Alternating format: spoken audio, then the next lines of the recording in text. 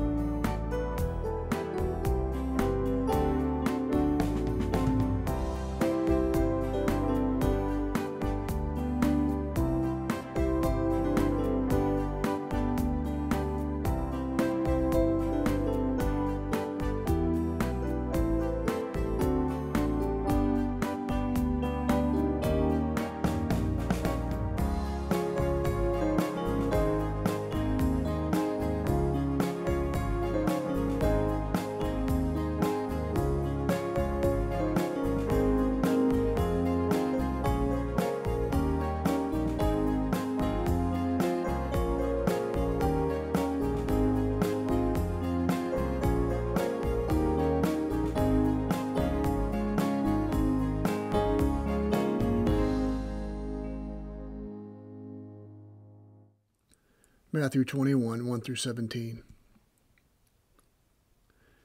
When they had approached Jerusalem and had come to Bethpage at the Mount of Olives, then Jesus sent two disciples, saying to them, Go into the village opposite you, and immediately you will find a donkey tied there, and a colt with her.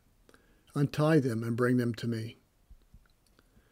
If anyone says anything to you, you shall say, The Lord has need of them, and immediately he will send them. This took place to fulfill what was spoken through the prophet. Say to the daughter of Zion, Behold, your king is coming to you, gentle and mounted on a donkey, even on a colt, the foal of a beast of burden. The disciples went and did just as Jesus had instructed them, and brought the donkey and the colt and laid their coats on them, and he sat on the coats. Most of the crowd spread their coats on the road, and others were cutting branches from the trees and spreading them on the road. The crowds were ahead of him, and those who followed him were shouting, Hosanna to the Son of David! Blessed is he who comes in the name of the Lord! Hosanna in the highest! And when he had entered Jerusalem, all the city was stirring, saying, Who is this? And the crowds were saying, This is the prophet, Jesus from Nazareth in Galilee. And Jesus entered the temple and drove out all those who were buying and selling in the temple, and overturned the tables of the money changers and the seats of those who were selling doves. And he said to them, It is written, My house shall be called a house of prayer, but you are making it a robber's den. And the blind and the lame came to him in the temple, and he healed them. But when the chief priests and the scribes saw the wonderful things that he had done, and the children who were shouting in the temple, Hosanna to the Son of David, they became indignant and said to him, Do you hear what these children are saying? And Jesus said to them, Yes, have you never read out of the mouth of, out of the mouth of infants and nursing babes you have prepared praise for yourself? And he left them and went out of the city to Bethany and spent the night there. May God bless the reading of his word.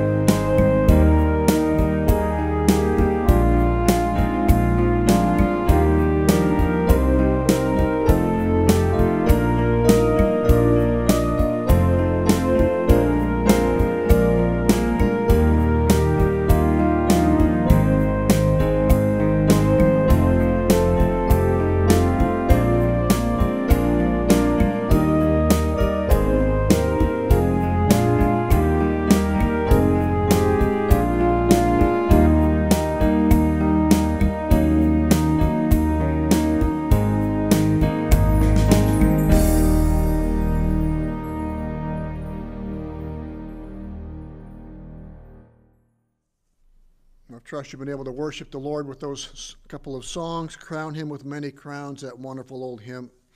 And uh, let's just look to the Lord in prayer as we look into God's word this morning. Father, we thank you for your word. We thank you for its truth. We thank you that it is a word that is all sufficient, that is all powerful. We thank you for who you are, the author and the finisher of our faith. You are the great King the king who reigns above all other kings. You are the one who has created everything that is, and without, without you, nothing will be created that has been created. And so, Father, we serve you and we thank you, Lord, for, for your great love that you've shown to us in your Son, Jesus Christ, as we anticipate this week, Good Friday, Easter weekend. We just are, are reminded, Lord, of what it's all about, truly all about. And we pray we'll be reminded of that once again this morning as we look into your word. That what a glorious and wonderful salvation, a powerful, life transforming salvation, being brought from death unto life. You've been prepared a place for us in heaven, and we now can call you our Father. You've adopted us into your family because of the, the sacrifice that Jesus Christ made on the cross 2,000 years ago for sinners. And so we thank you, Lord, for this time together as your church that we can worship you, we can lift up your glorious name, remember who, remembering who you are. And we, we know there are many, Lord, who would love to be with us this morning and in person, but because of uh, COVID and health issues, and, and we know that they, they're unable to be here. So we pray for a special blessing upon them, those struggling with health issues as well. And, and we just thank you, Lord, for you are the great physician, and we pray your hand might be upon them. We think especially of Karen Scrivens and and, and Blair, and we just pray that you might just be very near to them and, and have your hand upon Karen and, and uh, her health. And we just pray that you just uh, touch her, give the doctors wisdom, and we pray, Lord, that she might be able to, to feel strength and be, begin to regain strength and the issues that she's dealing with, that you might just heal them. And we just uh, know, Father, that you love them and care for them and pray your hand might be upon them. You might send your peace and your power in a very wonderful way. Think of Lee also in the hospital, Lee Wolf, and we just pray your continued hand upon him. As thank you for the answer of prayer that he is getting a bit of relief from his back pain, but we just pray your hand will be continue to be upon him and for the doctors as well. But Lord, we thank you for this time together, and we pray, Lord, as we look into your word, this very familiar story, that you would open our hearts and our minds, that you would fill us with your spirit, and that your spirit would teach us and, and lift up the, that wonderful name, that name which is above every name, the name of Jesus Christ. And so bless us as we open your word together, we pray. In Jesus' name, amen. Well, if you have a Bible with you, we're going to be looking at that passage of Scripture that was read earlier Matthew chapter 21. This is Palm Sunday when we celebrate what's re- traditionally been referred to as the triumphal entry. And uh, we're going to be looking at that. Then we'll be picking up more of the Easter story on Good Friday and then again on Easter Sunday. It's a story, one of the few stories that's recorded in all four Gospels, the story of the triumphal entry. But it doesn't take up a lot of space in any of the Gospels. The bulk of the Gospel narrative tells us about the, the events that transpire after his triumphal entry, that last week leading up to his crucifixion and resurrection. The last five or six days of Jesus' life, especially in John's Gospel, take up a, a majority of that Gospel narrative.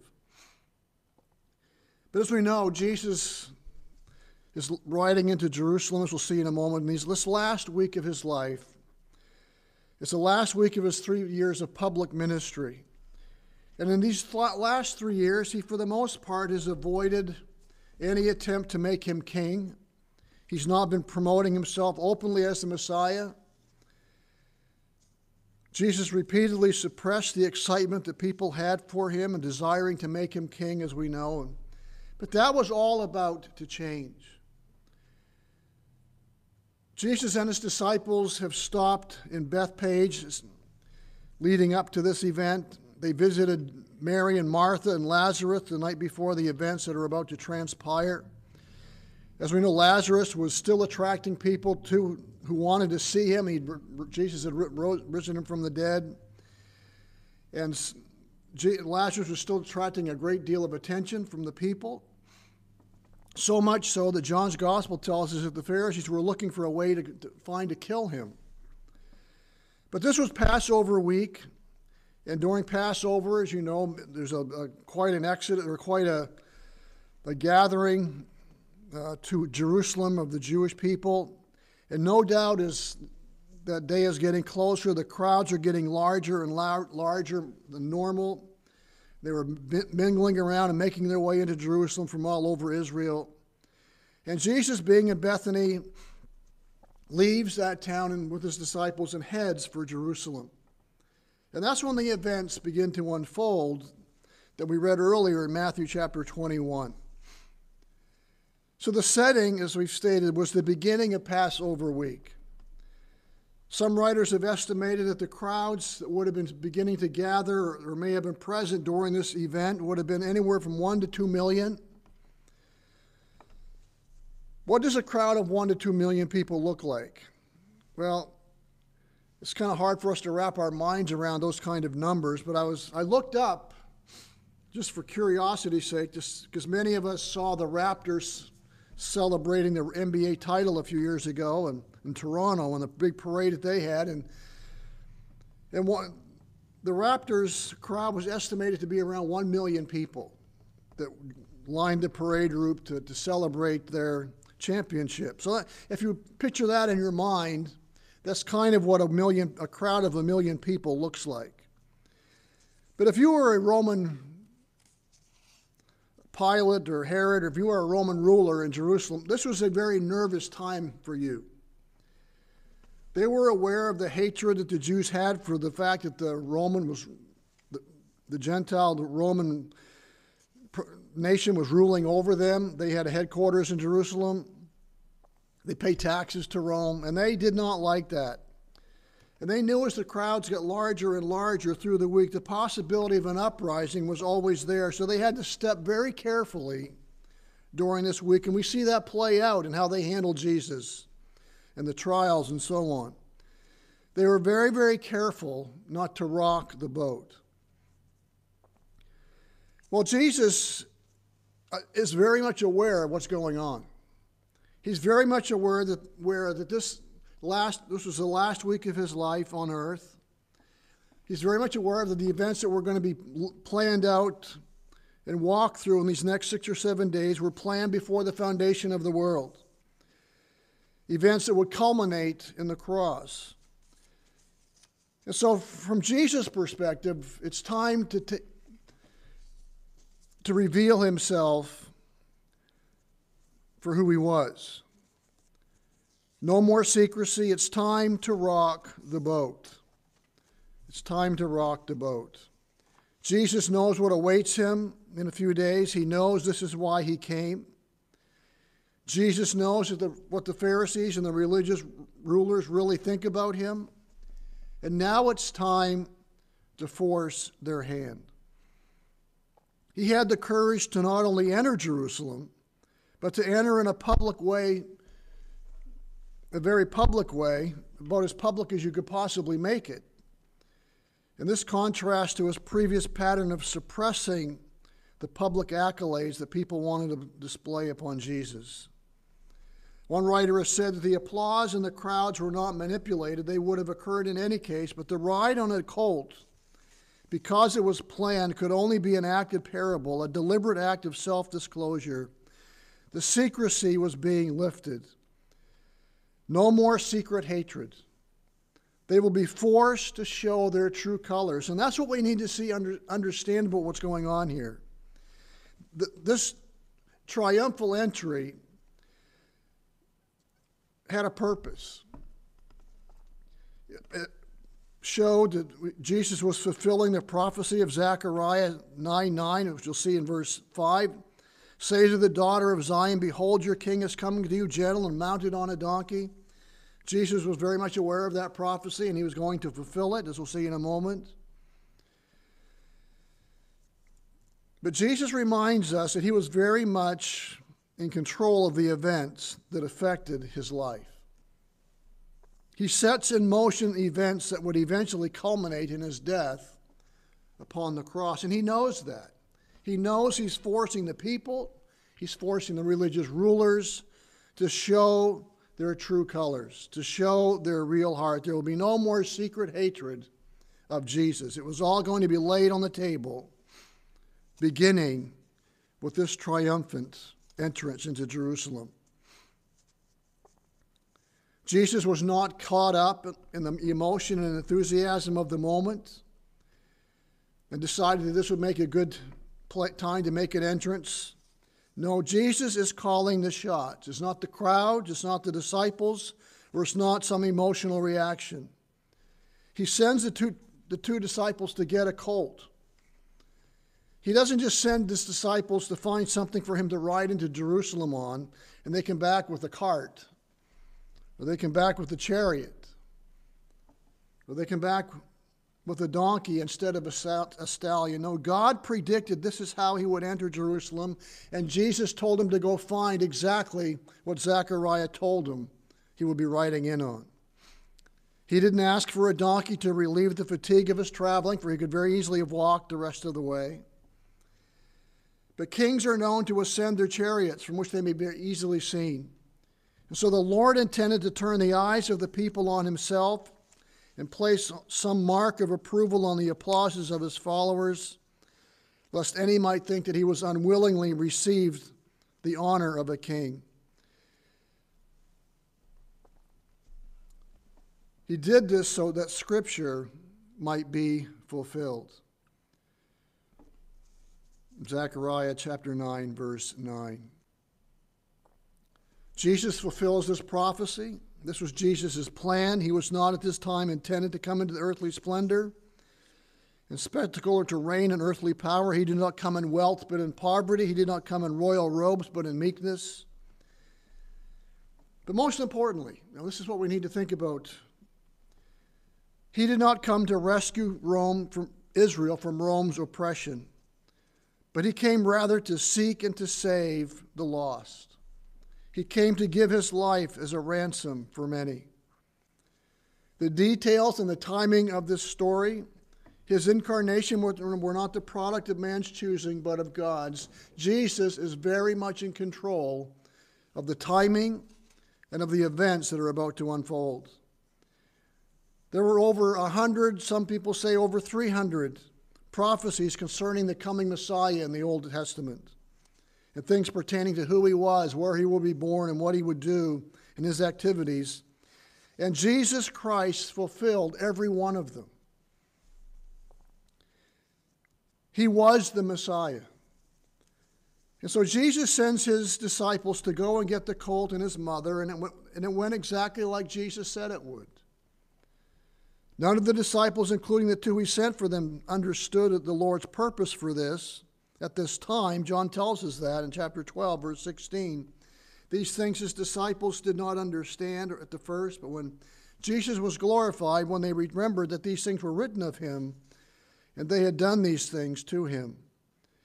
And they returned with the colt. It had no saddle, the colt and its mother, the donkey. The disciples put their coats on it for Jesus to sit on, and as the crowds are making their way to Jerusalem, the crowds are building, and they doubt, they no doubt understand the significance of Jesus riding on the colt. And they begin to lay coats down and wave palm branches. This had become a symbolic way or a symbol of the hope of the Messiah's coming, who taught with such authority and healed the sick and raised the dead. The people followed him from Bethpage when he left. Others heard he was coming from Jerusalem and came out to meet him. And the crowd just kept growing and growing and growing in number. The crowd was excited, and this excitement continued to grow as the crowd grew, and they got closer and closer to Jerusalem. Now, not everyone would have called themselves followers of Jesus. Some maybe not even knew who he was. But rumors, people were telling everybody this is who he is, this is what he's done, that he raised, he's the one who raised Lazarus from the dead, and they no doubt were talking about his miracles and so on. But have you've ever been in a crowd like this, even if you're not a Raptors fan and you were at that parade after they won the championship, it would, it would be very easy for you to get caught up in all the hoopla and all the celebration and the fanfare going along with the celebration. And I'm sure that was no doubt the case here. Well, what were they saying? The crowds going ahead of him and those who followed were shouting. They weren't just murmuring, they were shouting this from the top of their lungs Hosanna to the Son of David. Blessed is he who comes in the name of the Lord. Hosanna in the highest. Hosanna comes from a Hebrew word that means give salvation now. Psalm 118, 26 says, Blessed is the one who comes in the name of the Lord. We have blessed you from the house of the Lord. The term Son of David makes it clear that they were acknowledging that Christ was the Messiah, acknowledging his messianic claim that the Messiah would be, in fact, the Son of David and establish his throne forever. And Jesus never told them to stop saying these things. He never shrunk from their worship. He never shrunk from their adoration. Why? Because he was the Messiah. He was the Son of David. He was Emmanuel, God with us. He was the promised one who would crush Satan's head. He was the one who would establish the kingdom, his kingdom. He was the King of kings and the Lord of lords, and he still is. So Jesus does not tell them to tone it down. But there were some who did. In Luke chapter 19, verse 39, some of the Pharisees in the crowd said to him, Teacher, rebuke your disciples. But Jesus answered, I tell you, if these become silent, the stones themselves will cry out. The expectations that the Messiah would bring deliverance were so great that the crowd became totally caught up in what, from a human perspective, was like mob hysteria. Yet, completely in accord with God's plan, they were unknowingly fulfilling prophecy. And this celebration was so loud that when they entered the city, some were asking, Who is this? Who is this? And the Pharisees, no doubt concerned for what they were seeing, said it seems like the whole world has gone after him. And no doubt the disciples were quite excited about the whole event as well. Because if we go back to chapter 20, verse 17 to 19, it says, verse 17, as Jesus was about to go up to Jerusalem, he took the 12 disciples aside by themselves, and on the way he said to them, Behold, we are going up to Jerusalem. There's going to be this big parade. They're going to laud me as Messiah. No. He said, Behold, we are going to Jerusalem, and the Son of Man will be delivered up to the chief priests and scribes, and they will condemn him to death. And they will hand him over to the Gentiles to mock and to scourge and to crucify him on the third day. He will be raised up. What we see transpiring in the triumphal entry was not the picture Jesus painting, painted concerning what it would be like on this trip to Jerusalem. Jesus very much understood what was about to transpire. He was not caught up, if you will, in the emotion of the moment. Jesus had set forth a scenario that seems pretty far fetched compared to what's going on in chapter 21. And maybe the disciples were thinking, well, maybe this changes everything. Maybe Jesus was just preparing them just in case things went sideways when they got to Jerusalem. But they get to Jerusalem and this happens. Man, this is great. This is what we've been waiting for. Jesus is finally going to set up his kingdom. He's finally going to declare, declare himself the Messiah and establish his kingdom and put down Rome. And we're going to be able to rule and reign with him. So maybe Jesus was wrong. If I had been one of the disciples, that's what I would have been hoping at least. But Luke 19:41 tells us something interesting about what Jesus was doing on this ride in. Amidst all the hoopla and all the excitement and all the accolades, he knew what was about to transpire. He knew where this was leading. And Luke 19 41 says, When he approached Jerusalem, he saw the city and he wept over it, saying, If you had known in this day, even you, the things which make for peace, but now they have been hidden from your eyes. For the days will come upon you when your enemies will throw up a barricade against you and surround you and hem you in on every side. And that's exactly what happened. They surrounded Jerusalem and destroyed it. Rome did. They will level you to the ground, you and your children within you, and they will not leave you one stone upon another, because you did not recognize the time of your visitation. If I was to put a title on this message, it's kind of weird to tell you the title in the middle of the message, but this is where I want to want us to go this morning and Friday and, then, and again on Easter. The title would be simply this Behold your King. If you go back to Matthew 21, verse 5, say to the daughter of Zion, Behold your King is coming to you, gentle and mounted on a donkey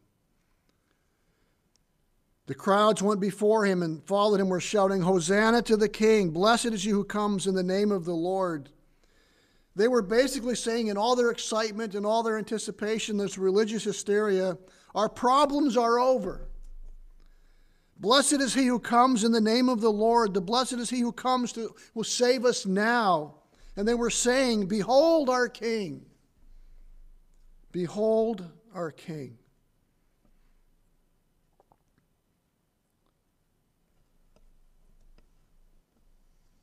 Yet we will hear that phrase again in a few days, but with a different response and spoken by a different person.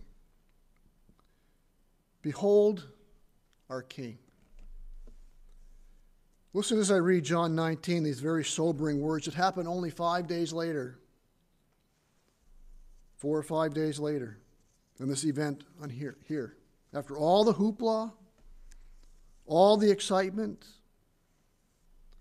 all the accolades, In John 19, we read this The Jews answered him, We have a law, and by that law he ought to be, die because he made himself out to be the Son of God. Therefore, Pilate heard this statement. He was even more afraid. And he entered into the praetorium again and said to Jesus, Where are you from? But Jesus gave him no answer. So Pilate said to him, do you, you do not speak to me? Do you not know that I have authority to release you and I have authority to crucify you? And Jesus answered, You would have no authority over me unless it had been given you from above. For this reason, he who delivered me to you has the greater sin. As a result of this, Pilate made efforts to release him. But the Jews cried out, saying, If you release this man, you are no friend of Caesar. Everyone who makes himself out to be a king opposes Caesar.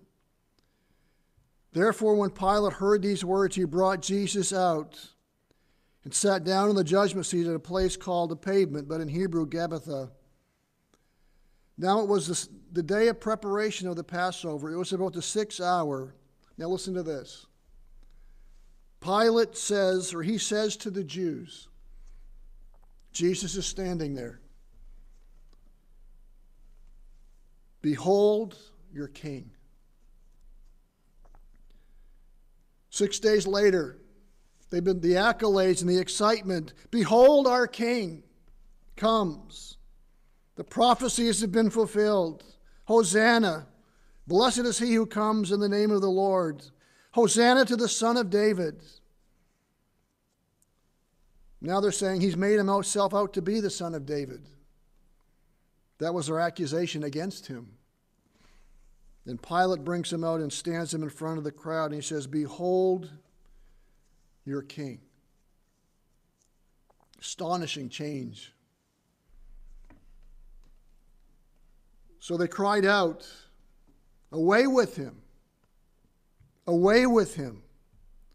Crucify him! And Pilate said to them, Shall I crucify your king? The chief priests answered, We have no king but Caesar. So he handed them over to them to be crucified.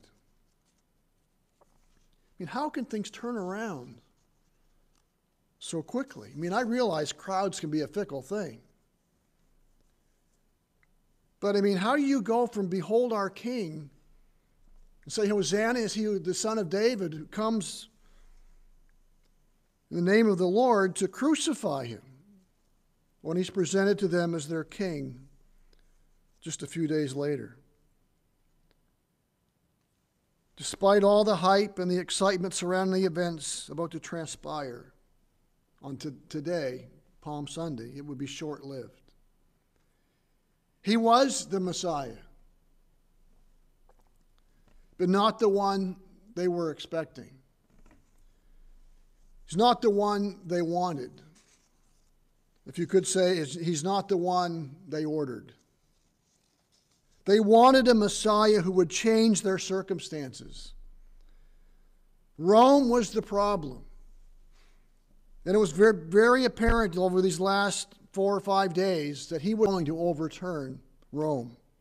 He was not going to subdue Rome and deliver them from Roman oppression. But basically, they came to the point was you defeat Rome and we will love you. You keep up the miracles and the free food and raising the dead, and you keep doing the things we think you should do the way we think you should do them, and we will love you and we will follow you. But basically, what they're saying if you do all the things we want to, we, we will be the king and you will be our servant. You follow us and we will love you. But Jesus knew that their real problem was not Rome, it was sin. It was the rebellious hearts lodged deep within them, of which they had no answer. They had no hope. They were not victims of Roman oppression, but of rebellious hearts towards God. They were the enemies of God, dead in trespasses and sins. They were God, breakers of God's law, God's commandments. They honored him with their lips, but their heart was far from him. They wanted a Messiah to free them from their bondage to Rome, not their bondage to sin. They wanted a deliverer, not a savior. They wanted a religious mascot, not a Messiah. They did not see themselves as lost, as under the condemnation of God, a heartbeat from hell. They did not see themselves in need of a Savior. They did not see themselves as alienated from God, separated from God. But God did. That's how God saw them. That's how God sees you. That's how He sees me. And that's why Jesus came.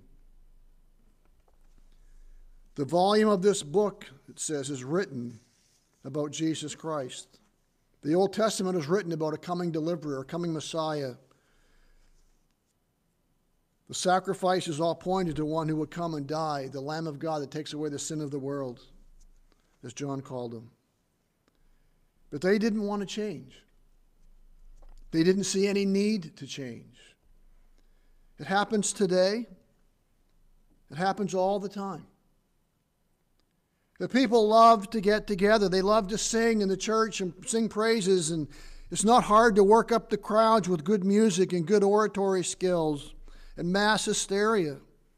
And people sit in churches and they like to sing the hymns and the praise songs. They like being with friendly people. And this today and next weekend, there will be people who have never been in church since this time last year. And they will come and they will make journeys to Jerusalem and to Israel and walk down the, the path, the Via Dolorosa, where Jesus walked with his cross, and they'll go to the empty tomb. And there'll be millions and millions of people coming to church today who normally would not darken the door because it's Easter.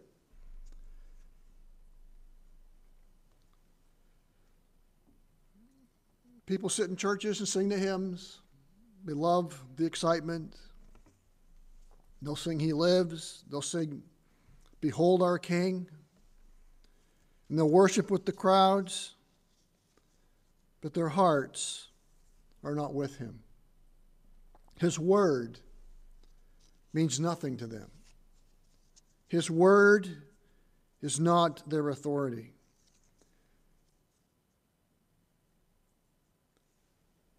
There are people sitting in churches singing praises to God, who before the church service is over are saying, Crucify him. We will not have this man rule over us. They're living immoral lifestyles. They come to church and they go home to, li- their live in girlfriend, their live in boyfriend. They're having, living in sexual impurity. They're living in unforgiveness, maybe to a friend, to a colleague. They have bitterness in their heart. They deny the reality of who Jesus says he was, the Son of God, Emmanuel, God with us. They do not believe that Jesus was God. They do not believe in his atoning death on the cross. But they sing about it. But they don't believe it. They sit and listen to messages week after week after week. And they sit they sing songs week after week after week. Hosanna, which we said earlier, sang earlier. Hosanna in the highest.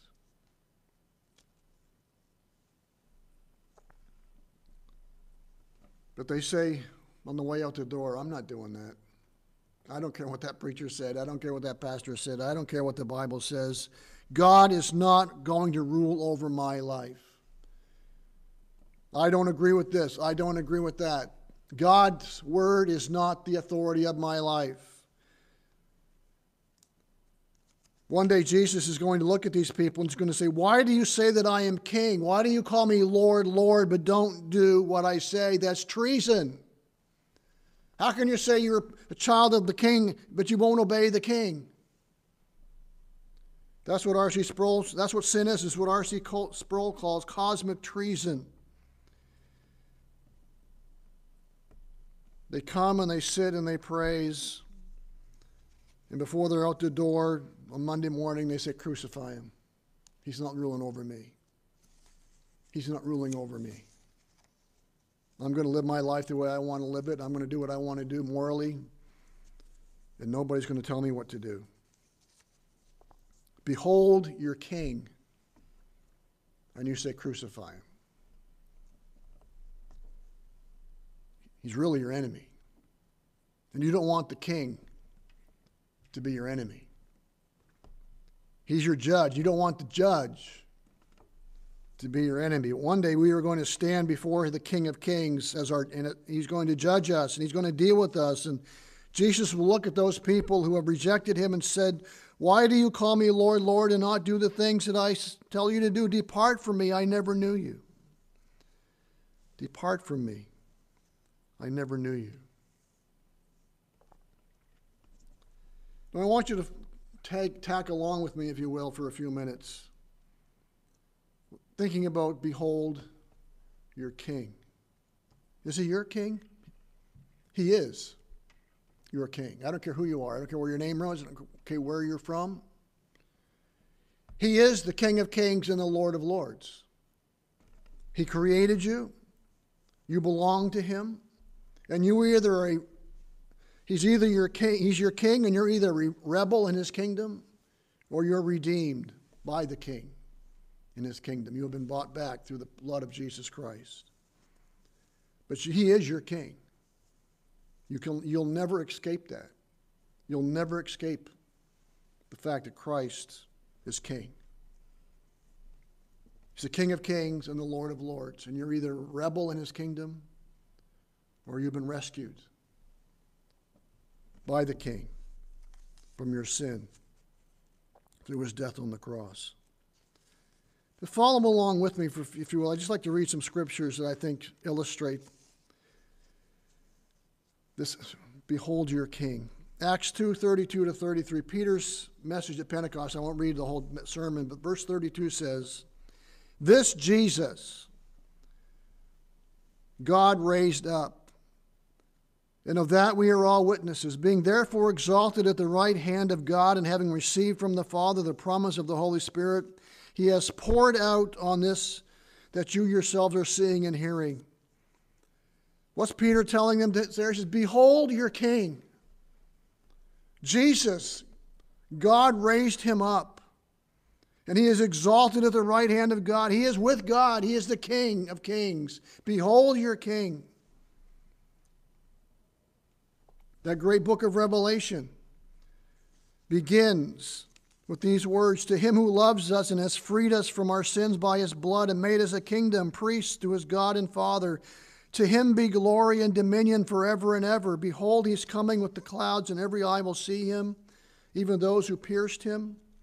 And all the tribes of the earth will wail on account of him. Even so, amen. I am the Alpha and the Omega, says the Lord God, who is and who was and who is to come. Revelation begins what? Behold, you're king. In Revelation 19, the judgments are over. God's wrath has been poured out on this world and those who have rejected God's rule in their lives. They've rejected salvation through his son, Jesus Christ. It's reaching its climax.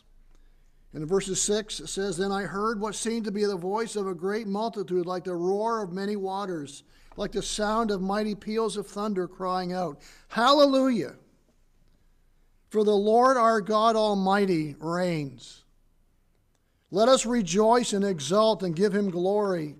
For the marriage of the Lamb has come, and his bride has made herself ready. It was granted her to clothe herself with fine linen, bright and pure, for the fine linen is the righteous deeds of the saints. And then I saw heaven open, and behold, a white horse. And one sitting on it is called Faithful and True, and in righteousness he judges and makes war. His eyes are like a flame of fire, and on his head are many diadems, and he has a name written that no one knows but himself. He is clothed in a robe dipped in blood, and the name by which he is called, the Word of God. And the armies of heaven, arrayed in fine linen, white and pure, were following him on white horses. And from his mouth comes a sharp sword which, with which to strike down the nations and he will rule them with a rod of iron, and he will tread the winepress of the fury of the wrath of God the Almighty. And on his robe and on his thigh he has a name written King of Kings and Lord of lords. Revelation begins Behold the King. And Revelation ends Behold the King. Jesus Christ is the one true everlasting King. He is the King of kings and the Lord of lords. Peter concludes his sermon in Acts chapter 2. Let all the house of Israel know, therefore, know for certain that God has made him both Lord and Christ, this Jesus whom you crucified. And now, when they heard this, they were cut to the heart. And Peter and the rest of the disciples said to Peter and the rest of the disciples, Brothers, what shall we do?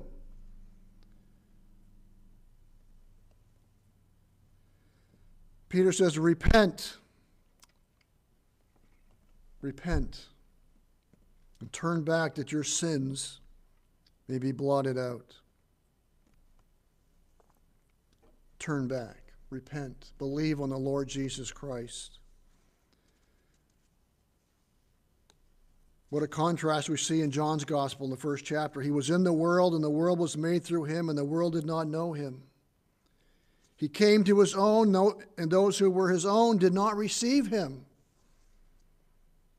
But as many as received him, to them gave he the, the right to become the children of God, even to those who believe on his name, who were born not of blood, nor of the will of the flesh, nor of the will of man, but of God. And the Word became flesh and dwelt among us, and we saw his glory, glory as of the only begotten from the Father, full of grace and truth. Behold your king. Have you been saved from your sin? Have you been resaved from your rebellion against the King of Kings and the Lord of Lords? Not by works, but have you been saved by God's grace through faith alone in what Christ did for you on the cross? Christ hung on the cross for your sin and for my sin. The Lord laid on him the iniquity of us all. He took the handwriting of ordinances out of the way that it was against us and nailed it to the cross. Jesus died for our rebellion against him.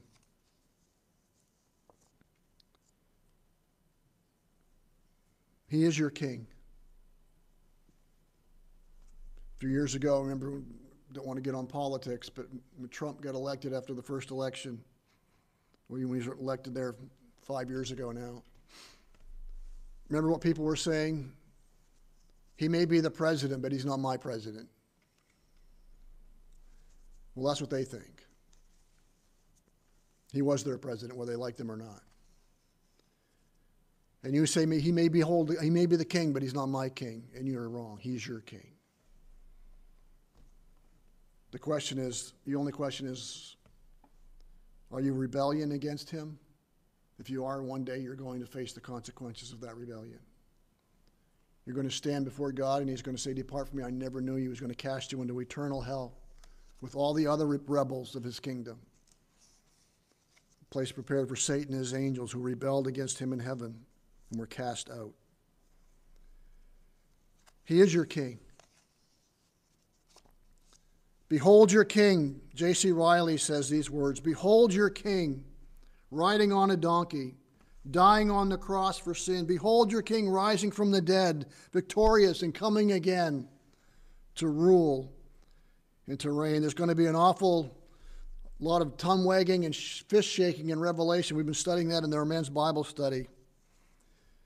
And God's coming back and he's going to punish this world and judge this world for their rebellion against Christ, against his rightful rule over their lives and they're going to be wagging their t- tongues and shaking their fists and, and utter rebellion till the very end. They are going to lose, and Christ is going to reign. He's going to rule and reign, and his reign is going to last forever. J.C. Ryle has put it this way You cannot trifle forever a time will come when you must be serious, and that time is today. You cannot put off your soul's concerns forever. A day will come when you must have a reckoning with God. You will. We all must stand before the judgment seat of Christ, the great white throne.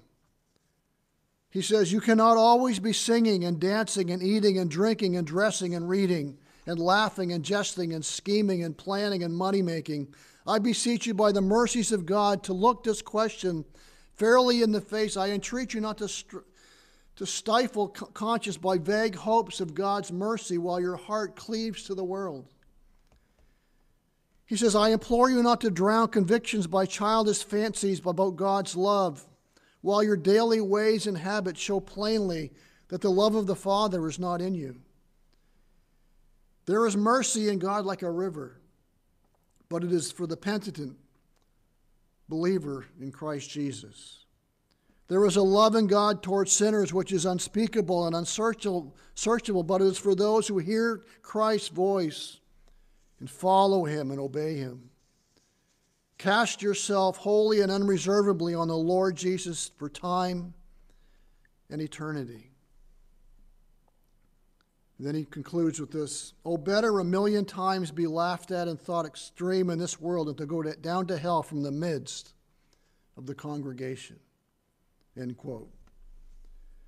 One day every knee will bow and every tongue will confess that Jesus Christ is Lord to the glory of God the Father. Believe on the Lord Jesus Christ, and you will be saved. Jesus says, Come unto me, all you who labor and are heavy laden, and I will give you rest. That's the invitation of the King. One day you will behold your King. It could be today. Are you ready? Will you meet him as a rebel in his kingdom or a redeemed child of God? Our only hope is to behold him clothed, is to be clothed in the right, perfect righteousness of Jesus Christ, imputed to us through faith in him. All our sin was imputed to Christ, and his righteousness, perfect righteousness, imputed to us. And we now stand before God, the King of Kings, clothed in the perfect righteousness of his Son, Jesus Christ. Behold your King. Who are you in this story? Who are you in this story? All the hoopla, what the crowds say, maybe what you were saying, what the crowds are singing, maybe what you were singing. But what are you saying on the way out the door? What are you going to be saying tomorrow to your friends? What's your lifestyle going to be saying?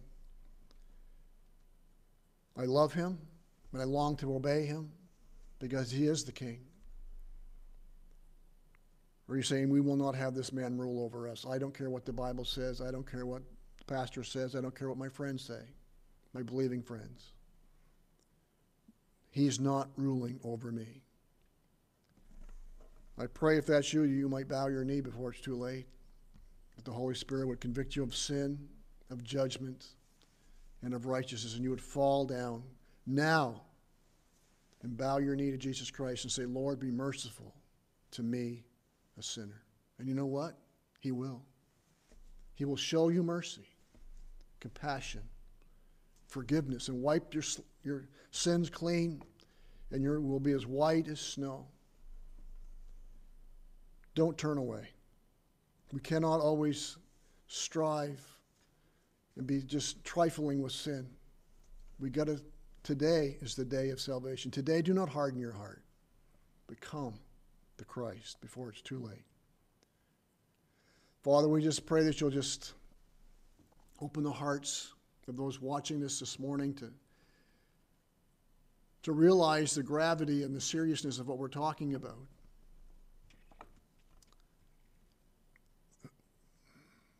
Behold the King, your King. Am I a rebel in God's kingdom?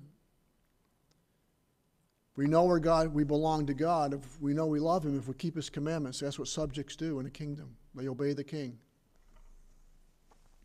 And for all those who disobey him, there will come a day of reckoning. And it'll be too late then to change your mind. It'll be too late. You'll bow your knee, but it will not change where you're headed. We bow our knee in this life to Jesus Christ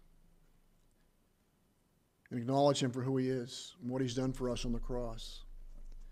Lord, I pray that if there's some watching this who've said, Lord, I, have never been, they've never been forgiven. They've never been changed. Their heart has never been changed. They like the crowds. They like the songs. They like getting caught up in the emotion of the services. But that's all it is. Before they're out the door, Monday morning when they go to work, when they go home, it's all irrelevant. He's not ruling over me. I pray, Lord, that you might just convict them of their sin, of their need of a Savior, and that you might show them Jesus Christ and his beauty and his glory and what he did for them on the cross. He became an atonement for them, he died in their place. He bore the wrath of God for them, for all those who will believe in him. And so, Father, we just pray that you might just do what only you can do. Draw them, open their eyes and their heart to the truth. Draw them to yourself, that they might know this King, the King of Kings and the Lord of Lords, that they might recognize their sinfulness and find in Jesus a great and glorious Savior from sin. So bless us today as we celebrate, as we move towards Easter, once as we're reminded of the realities of Easter, and that every day of our life is a celebration of the resurrection of Christ. And so I pray you might do a mighty work in the hearts of your people until we give the glory. In Jesus' name, amen.